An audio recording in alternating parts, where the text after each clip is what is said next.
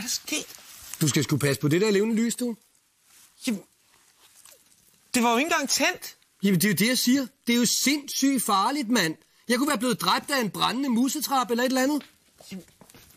Hej med jer. Ej, hvor har lugter brændt. Det er mit juletræ, det... Ej, hvor er det synd, Oliver. Ved du, jeg har masser af pynt her. Ikke? Skal vi rigtig pynte op? Søren, hvad vil du have? Fehår eller girlander? Jeg gider ikke det der julehyggepis. Nå, nå, nå, der er nok en, der er sur, hva'? Alt det der forlorene, vi skal have kraftedet med hygge for enhver pris, pis, det er jo totalt latterligt og sygt, mand. Det er jo bare kommersiel udnyttelse af os. Hvad fanden laver du, mand? Det ved jeg ikke. Det trængte jeg bare til. Nå, skal vi hygge nu? Ja, der er også kleiner. Prøv lige at høre her. Kan vi ikke snakke om noget andet end det der julehyggepis? Hvad, er der- hvad er sket i ugen, for eksempel? Nå, det var godt. Altså, den helt store nyhed, det var jo den der rapport, der afslørede, at danske skolebørn er røget 16 pladser ned af listen over, øh, hvem der er bedst til at læse og stave i OECD-landene. Og det fik virkelig regeringen til at slå i bordet og virke handlekraftige. Men der er altså også ret store problemer med stavningen. Prøv lige at se, hvad TV2 kunne afsløre. Kan du for eksempel stave til ordet kutyme? Det vil jeg tro, jeg kan. K-O-T-Y-M-E. Det staves med U. Det var godt, de ikke bad hende om at stave til OECD-landene, var? Og, men altså for en god ordens skyld, ikke, så skal vi lige sige, at det altså staves K-U-T-Y-M-E, så journalisten var også på vildspor. Ja. Men heldigvis, så ved Ulla Tørnes, hvordan der skal rettes op på den dårlige stavning disciplin. Skal disciplin nu også være en disciplin i skolen? Mm. Ja. Regeringen og Dansk Folkeparti de vil have strammet op på elevernes opførsel i skolen, og der skal være mere straf, som for eksempel eftersidning og en tur uden for døren. Altså, vi tager virkelig den her opgave seriøst, ikke? Altså, fordi børnene, det er jo vores fremtid. Og det er utrolig vigtigt, at de får noget disciplin, så de kan lære både læse og skrive, ikke? Altså, og efter at Christiania er blevet rekreativt område, og Stig Tøfting, han er blevet fyret fra AGF, ikke? Så har vi jo masser af tid til den her opgave, ikke? Og det er vi rigtig, rigtig glade for. Der er selvfølgelig noget... Det er jo altså kun hårde gummikugler, vi bruger, ikke? Men, men, men det gør utrolig ondt. Altså, det gør næsten, det gør det. Men øh, det er jo sådan en lille reminder, ikke? Sådan så øh, de kan huske det, ikke? Og hende der, hun skal sgu nok lære både at læse og skrive. Det er helt sikkert. Der er selvfølgelig også nogen, der mener, at det er en overreaktion, og at tallene i rapporten ikke sådan lige kan sammenlignes landene imellem. Mm. Og der er faktisk en ny rapport, der viser, at danske politikere de er dårligere til at læse rapporter end politikere fra andre lande. De er faktisk røget helt ned på en 31. plads. Du er sjov, Oliver. Men nu skal det ikke være alvor det hele, vel? Nu skal vi rigtig hygge os. Ja, man skulle være skarn, hvis man ikke kunne snuppe en, en, en klein mere, ikke? Ved du hvad, Oliver? Jeg går ud og finder et nyt juletræ til dig, ikke? Så kan I lige se en film imens. Oh, det bliver hyggeligt. La la la la la la Nå, Tobias, hvad sidder du der og tegner? Jeg, jeg tegner en rigtig flink mand. Ja, så. Han er statsminister, far. Statsminister, for, for pokker, Tobias. Han er øh, en Nej, fusker. lad være, far. Ej, hvor er du En åndssvag. rigtig statsminister, Tobias. Det er en socialdemokrat, ligesom din far. Øv, far, det ved jeg ikke, hvad er for noget, det der. Tobias, Tobias, der er så meget, du ikke forstår. En socialdemokrat, det er en stolt mand, ikke? Med en rød fane og en faxefad i hånden. Det er alle de gode værdier, Tobias, ikke? Det er det, der stemmer i, ikke? Og det har statsministeren så også fundet ud af. Han er jo 20 stjålet vores politik. Kan du ikke se det, knægt? Hvad for noget?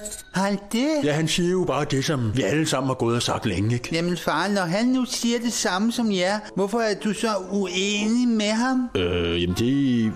Au, far, det er da ikke min skyld. Kan du så komme i seng?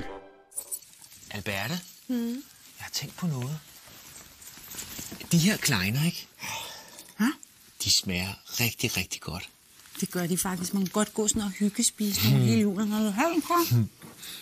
Nej, det vil jeg faktisk ikke. Og ved du hvad? Hele jeres julehyggeleri, ikke? det er simpelthen bare noget totalt uægte, uærligt, uhyggeligt noget, mand. Nej, Søren, er du bange for julen? Bange? Gud, jeg er dig bange. Men det er overhovedet ikke det, julen handler om, vel? Julen, den handler om... Om at være sammen med nogen, man holder af. Ja, og, Det handler om. og jule og, og, og, og bage kleiner og sådan. Ved du hvad, det har jo intet med julen at gøre. Du ved jo overhovedet ikke, hvad julen den står for. Det gør jeg da. Den står for døren. Det er da derfor, jeg kan... Ja, okay, så tager vi det lige fra bunden, ikke? Jesus, han blev undfanget af Helligånden, født af Jomfru Maria, pint under Pontius Pilatus. Ham kender jeg. Ham der, Poncho Pilatus, det er ham, der står nede på strøget med sin panfløjte i en poncho. Hold nu kæft, det som julen den handler om, det er at menes Jesus store humanistiske budskab. Jo, men altså, derfor kan vi jo godt hygge os. Ved du hvad, Alberte? Du er simpelthen det mest selvoptagede og egoistiske menneske, jeg nogensinde har mødt. Du er pisse ligeglad med andre mennesker, bare du selv kan sidde og hygge dig. Søren, jeg er jo altså bare... Jeg, mig, mig, mig, mig, mig, mig, mig, mig, mig. Julens store budskab, det handler om at give på en uselvisk måde. Det er jul, du. Okay, jeg tror lige, vi skal se en lille film.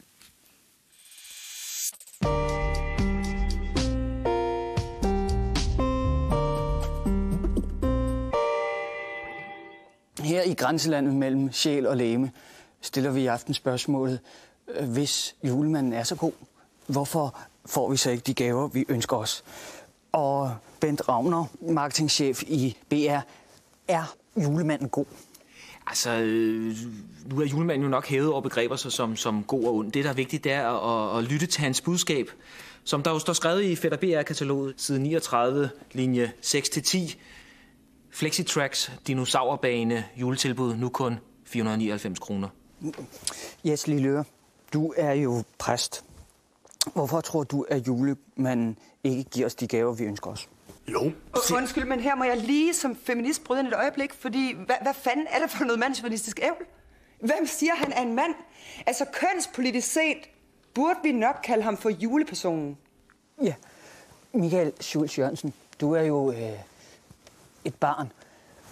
Hvorfor tror du ikke, at julemanden bare giver os de gaver, vi vil have? Er det, fordi han er ond? Altså, jeg kan jo ikke lade være med at sidde og ryste på hovedet det her. For det er jo fuldstændig absurd.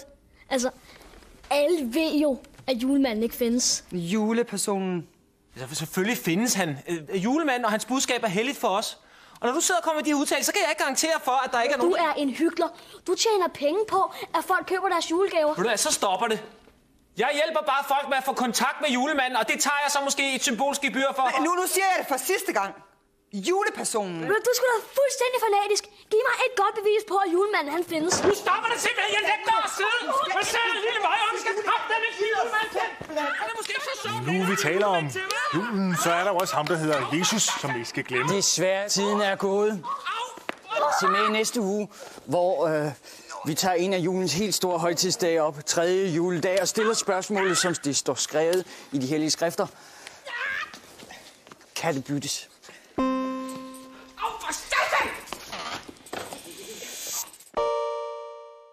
Søren, du bliver nødt til at slappe lidt af nu.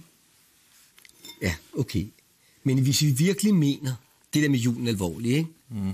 så bliver I simpelthen nødt til at gøre noget, som ikke bare handler om jer selv. Ja, ja, selvfølgelig, altså. Det er ret klogt sagt. Vi har det jo så godt, at der er så mange, der har det dårligt, som man burde hjælpe. Ja, det burde vi. Alle de der ligegyldige ting, vi køber til hinanden, fordi vi skal ønske os et eller andet, ikke? Det er jo ikke det, det burde handle om. Nej. Ej, jeg bliver helt flov. Hvad, de der kleiner, hvor øh, gik de hen? Jeg hedder Victor. Jeg er 10 år, og jeg bor i Danmark. I et hus sammen med min mor og min far. Min mor forkæler mig nok lidt. Min far, han tager det mere roligt.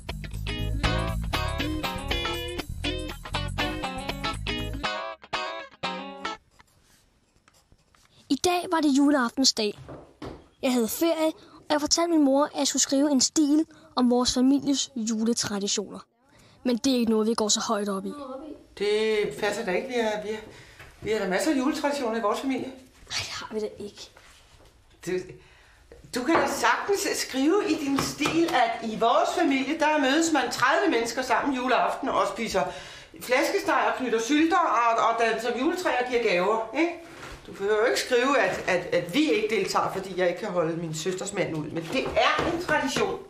Det er vigtigt at gøre noget sammen i julen, det er der ingen tvivl om. Men øh, spørgsmålet er jo, om jeg ikke er lige så nærværende over for min familie, når jeg sidder derhjemme og nyder pigekoret i tv, ikke? Frem for at jeg partout skal med ud og, og hugge juletræer i, i regnvejr, ikke? Stå ude i skoven. Det er ingen grund til.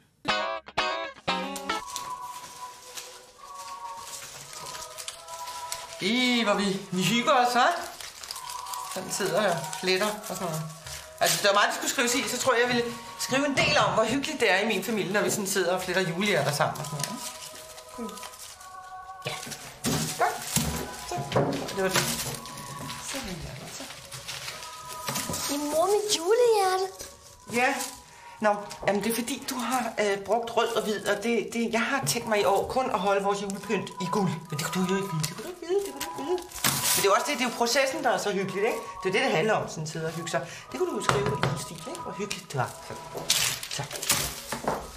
Jeg må nok indrømme, at øh, min mand og jeg, vi sådan prøver at overgå hinanden i juleri, ikke? Det er sådan en tradition, vi har sådan en elgammel tradition fra før vores tid, ikke? Det er simpelthen... Han er helt syg med at spille julemand også. Jeg kan slet ikke vente, han er sådan helt sådan på duerne. Det er så sødt.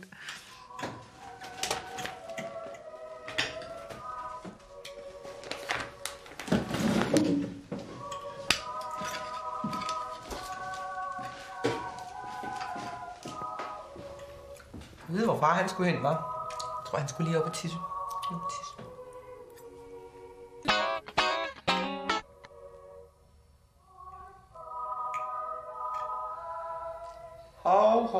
Hov. Nu så synes jeg lige, at jeg hørte noget, der puslede ude ved døren. Kan jeg vide, hvem det kan være?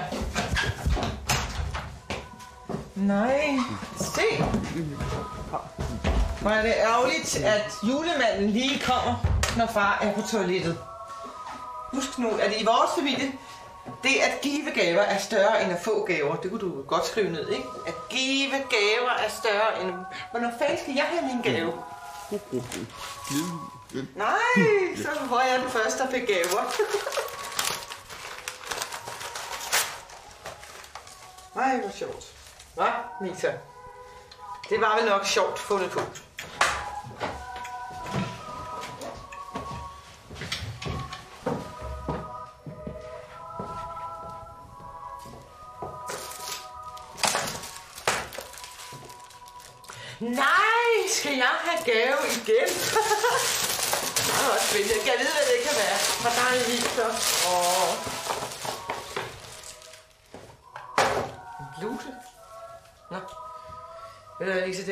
Jeg en lille smule skuffet over. Øh, Jeg ville hellere have haft sådan en lille træting, som du selv havde lavet, som jeg sådan kunne stille på mit kontor.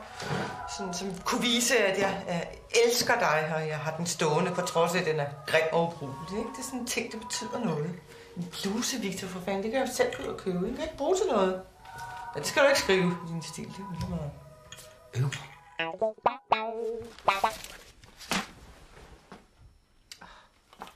Ja, det, øh, jeg forstår det simpelthen ikke, fordi Victor fik kun fem for sin stil om juletraditioner i, i vores familie. Ikke? Og han fik decideret at vide af sin lærer, at der var sådan flere passager, der var direkte afskrift fra alt for damernes julenummer. Det, det passer jo ikke. Altså, det er nonsens. altså.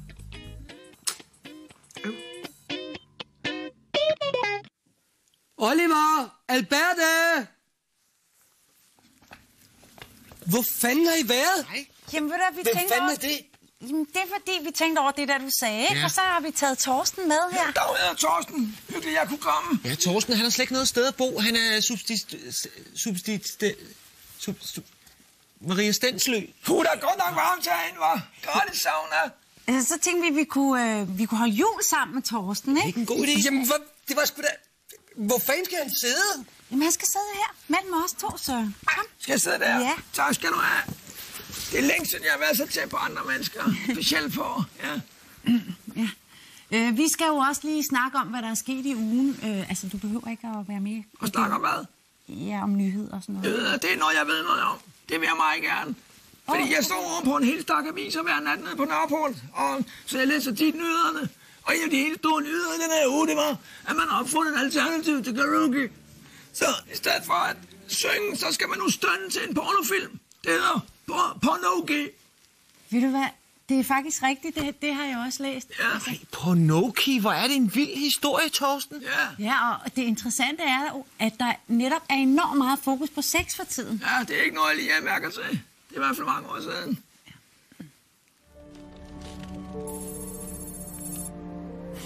Det er forfærdeligt, den pornoficering af samfundet, hva'? Jamen, der står til, at de unge menneskers seksualitet er fuldstændig fordrejet på grund af al den porno. Ja, og hvis de lukker op for MTV, ikke, så er alle deres rollemodeller, de er mere eller mindre nøgne, ikke? Ja, ja, det er så forfærdeligt. Forfærdeligt. Det er sgu sygeligt, altså. Sygeligt. Eller perverst, mand. Hele samfundet er efterhånden en stor pornofilm. Hvad fanden skal det ikke ende med, altså? Hvad er det der? Er det et ringbind? Er det information i det nye format? Nej, nej, nej, nej. Nej, nej, nej. Det er Pytmand. Godt, du kom, Pytmand. Den er helt gal. Men hvad er problemet? Ja, det er den der enorme pornoficering af vores samfund. De unge mennesker, de er fuldstændig forskruet i deres hoveder. Der er sex, porno, sex alle steder. Ah, pyt med det. Pyt? Ja, det er jo bare noget, medierne kører op, så de har en dårlig undskyldning for at vise nogle nøgne damer. Og herregud, sex er måske interessant nu, men på længere sigt, så er det jo ikke det vigtigste. Nej, nej, det er rigtigt. Og husk på, at hjernen altid vinder over underlivet. Det er jo det, der hæver os op over dyrene, ikke? Oh, godt, du kom, Pytmand. Uden dig, så var det altså gået galt på en hel... Hej, drenge. Hvad går sådan et par store fyre, som jeg er rundt og laver? Dømt! Det er Batwoman! Så I det der program på TV3 om pornoindustrien? Ja, det var en kynisk udnyttelse af unge kvinder. Nej, de havde selv valgt det, og- de er jo lækre og nøgne. Ja, hende lyshåret, hun havde bare nogle kæmpe nogen. Nej, pyt med det! Vidste I, at Katja King kommer med en undertøjsserie? Gør hun det?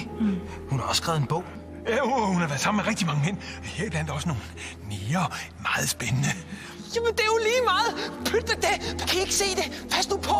Hendes bryster er alt for store. Det kommer ud af kontrol. Sikke nogle store bryster, du har. Ja, det er noget værre noget, ikke? Nej. I kender ikke det der, hvor man har fået en alt for lille behov på. Jo. Nej, pyt med de bryste. Pyt med de brød. Pyt med de brød. Pyt med de brød. Jeg kan ikke. De er for store. Øh, de er for store.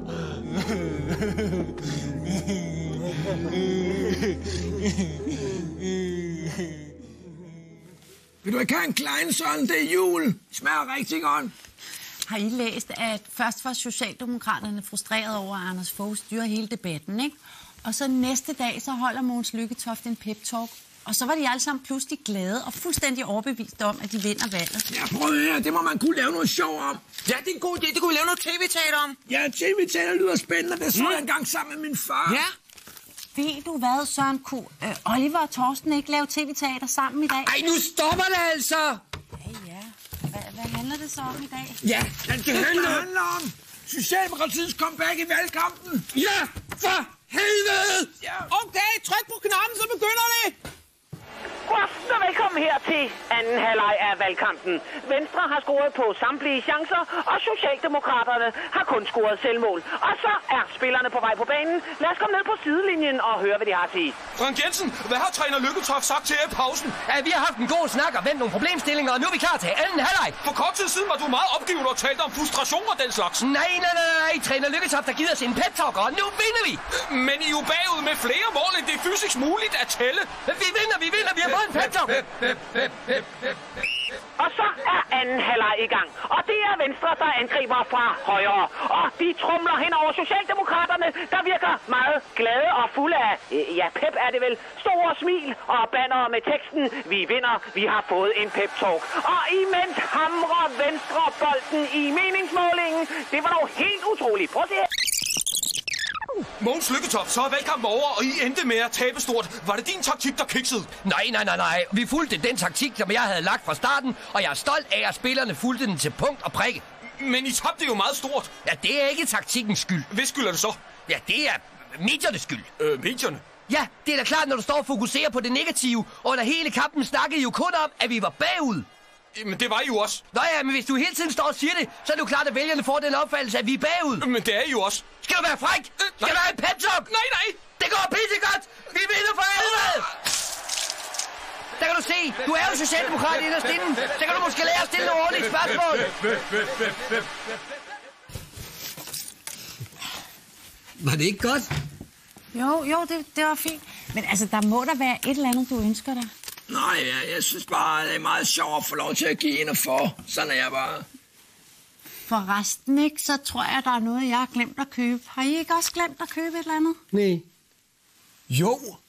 Mm. Øh, men så kunne vi jo gå ned og købe det sammen, jo. Det kunne vi. Okay. Godt. Nå, jamen vi går lige ned, jo. Ja, så sætter jeg lige stjernen på juletræet, mens I er væk. Ej, God er idé. sød, Thorsten. Tak. Tak, hej.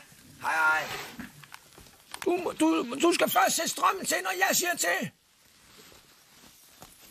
Ja, ja.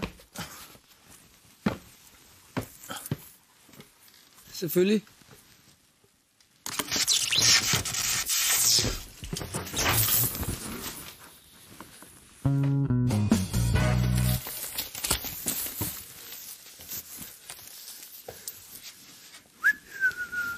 Hej. Hvor er Torsten? Ja, han, øh, han skulle gå. Han øh, havde en anden aftale, men jeg skulle hilse fra ham. Ej, det var da mærkeligt, synes jeg. Jo, han var så sød. Ja. Ej, Oliver, nu skal du ikke blive ked af det. Jo. Er du også ked af Ja, ja, ja. Skal, skal vi læse en historie? Ja. Ja. Okay, Magnus bryder ud af sit bur og bliver skudt. Nej. Nej. Magnus slås med Stig Tøfting. Nej, nej. Ja, den er så kedelig. Magnus slår op. Ja, den er god. Ja, den er god. Det er morgen. Magnus vågner ved, at fuglene synger. Det er søndag. I går var Magnus og hans kæreste op og skændes, så Magnus synes, det var bedst, at han sov på sofaen. Magnus ved, at sådan et skænderi er glemt inden længe. Han skal bare lade som ingenting. Så ringer det på døren. Magnus vil være sød ved sin kæreste og skynder sig ud for at åbne. Hejsan. Eh, goddag, jeg er din nye granne. Pigen siger, at hun er Magnus' nye nabo, og hun mangler en hammer. Hun vil høre, om Magnus har sådan en. En hammer jeg kan få låne. En hammer, ja. Magnus vil gerne hjælpe sin nye nabo, så han finder hurtigt en hammer frem. Du kan få beholde den. Nej, det kan jeg inte alls ta emot. Jo, jo, jo. Jeg har masser af hamre. Jeg har tusind hamre. Nu har Magnus ikke nogen hammer, men det gør ikke noget, for han har fået en nabo, der er rigtig sød og behagelig og rar og klog og høflig og med store bryster. Kan det bra? Hej då. Hej. Magnus går ind til sin kæreste igen. Han synes pludselig, at hun virker lidt kedelig. Han er også irriteret over den måde, hun puster på teen på. Og det, hun gør med brillerne. Og hendes lyde. Og hendes fødder. Ja, det hele er faktisk irriterende. Det virker, som om hun ikke er klar over, hvor lækker en kæreste hun har. Hun kunne godt gøre sig mere umage. Han kunne jo nemt finde en anden. Magnus synes, at hun skal have en lille advarsel. Jeg tykker, vi skal holde en pause. Magnus siger, at han synes, de skal holde en pause. Kanskje du har ret, Magnus. Magnus kæreste siger, at så var det måske bedst, at de helt stopper. Det var jo ikke det, han havde tænkt sig. Hun skulle bare have sagt, at hun godt kan se, at hun ikke har været nok for ham på det seneste, og at hun ville gøre mere ud af sig selv, og skulle de i øvrigt ikke gå ind og have noget sex lige her og nu. Det var det, Magnus havde regnet med. Men det kan han ikke rigtig sige nu. Jo, men det var da præcis, hvad jeg sa. Så Magnus siger i stedet, at det var også det, han mente. Magnus, du så... Kæresten siger, at Magnus der kun foreslog, at de skulle holde en pause. Det var da hende, der sagde, at de helt skulle stoppe. Nej, nej, nej, nej, nej. Sådan lægger vi ikke. Magnus siger, at nej, det var ham, der ville slå op. Han har været træt af deres forhold længe, og hun er også kedelig at være sammen med. Han får ikke noget modspil, og han tænder ikke seksuelt på hende mere. Faktisk har han aldrig elsket hende, selvom han måske sagde det i begyndelsen. Bojan! Vet du vad, Magnus? Magnus kæreste siger, at hun er helt enig, Det har jag det också. og det rammer Magnus endnu hårdere. Men nu er han sur, Fint då! og så skal hun ikke komme her og komme her. Stoppa här och nu! Magnus er trist. Han kan faktisk rigtig godt lide sin kæreste, men nu har han åbenbart slået op. Men så kommer han til at tænke på noget. Granna.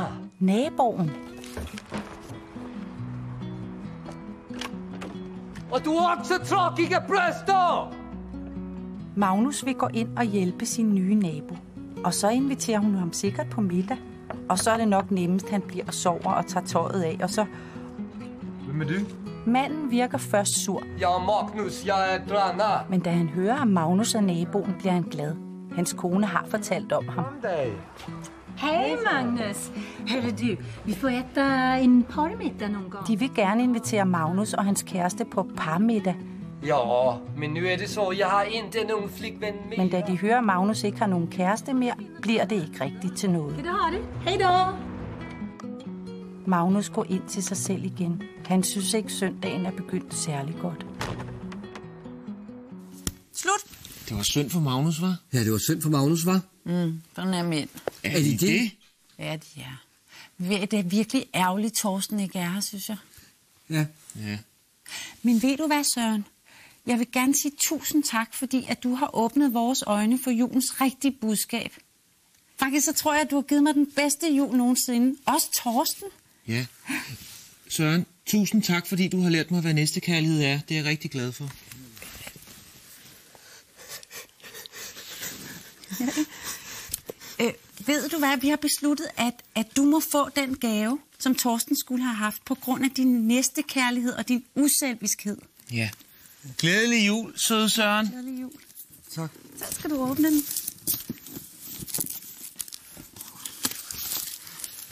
En pelshue. Prøv at tage den på.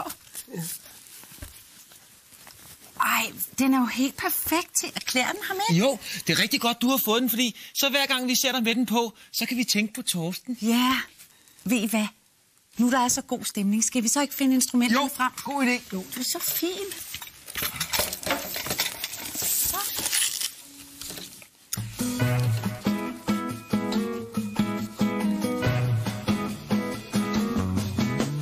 Nu det er nat, en solsort sover i